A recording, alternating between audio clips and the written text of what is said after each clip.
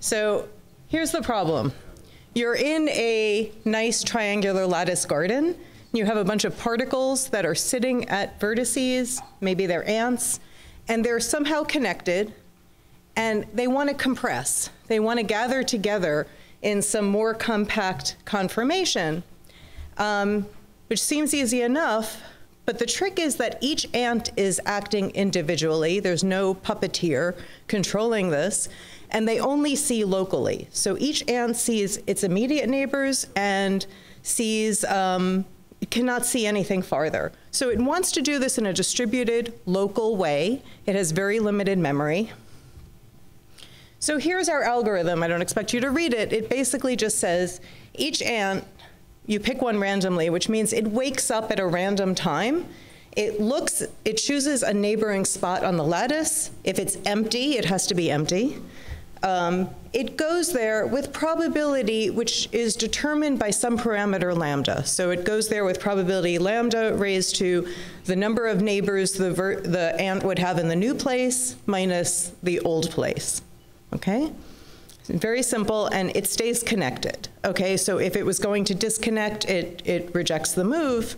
And if you run this, you get this kind of gathering, this kind of compression, where you start off with something which has a linear perimeter, and you end up with something which has a square root perimeter, which is close to the minimal possible perimeter.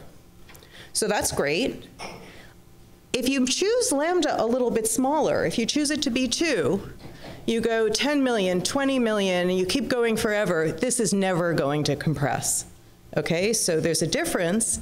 What we're able to show is that if lambda is less than 2.17, you do get this, um, sorry, you, you get expansion. You get something which provably has linear perimeter, and when it's greater than about three and a half, you get compression. And what you're seeing here is an example of a phase transition like spontaneous magnetization. So this is actually very closely related to what's known as the Ising model in statistical physics. And if you want to learn about it, I learned about it 30 years ago from an article that Barry Cipra wrote.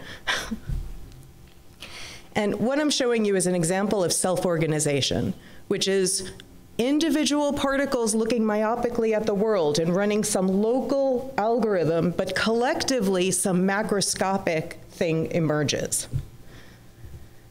So for this talk, this is new work in progress. Um, could we use self-organization to make interesting patterns? All right. So instead of the, the previous one, I'm hiding all the math.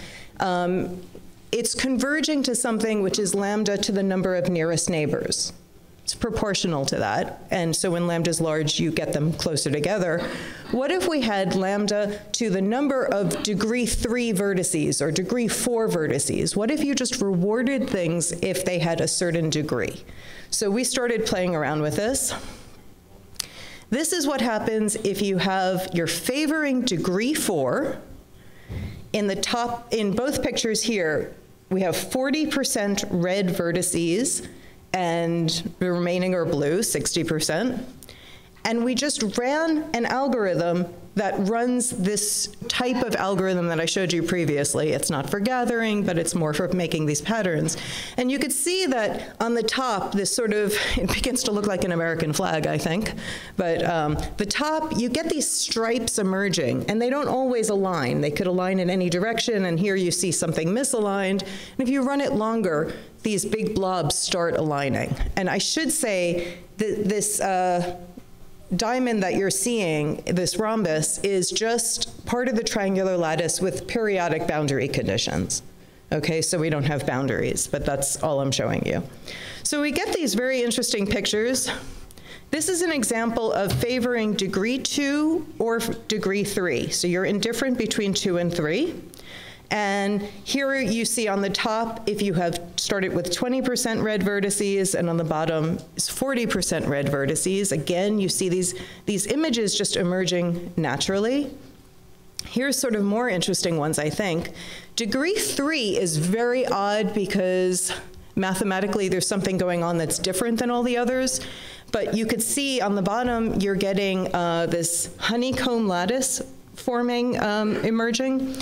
On the right, we have an asymmetric case. So on the right, I'm showing you two examples where um, red is reacting to red, but blue is not reacting to blue, and so you get different patterns. And what I think is more interesting is what I'm showing you here is the algorithm evolving as the number of red vertices is increasing. So what you're seeing here at 25% red, you're suddenly going to see a change happening. Okay, so there's a, a change locally, and when you hit 50%, you're going to see a change again.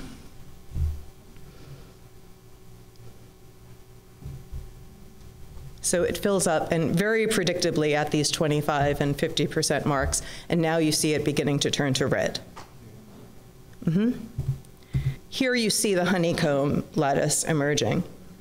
So the last thing I'm going to leave you with is we went farther. This algorithm was so simple that I'm going to come back to my robots. We were able to implement it with robots that instead of having things move preferentially towards more neighbors, we had them move with less probability away from things with more neighbors, and we did that with magnets. And here you could see on the left, you have no compression, and on the right, the gathering, here, here's robots gathering. So these are my robot, robotic gardeners, and you have compression happening, and you have this with no CPU, no memory, no uh, control at all, because this is just an emergent behavior. So that's what I had to tell you. Thank you.